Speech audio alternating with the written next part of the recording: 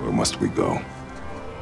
To a realm beyond your own. Norse myth provided that sense of a lived in world.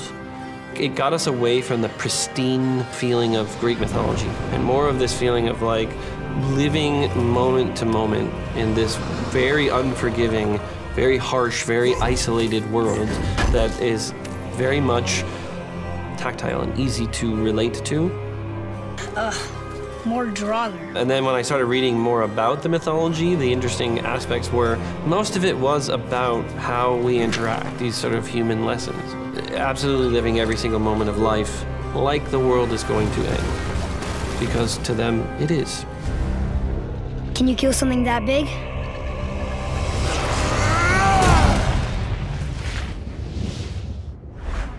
PlayStation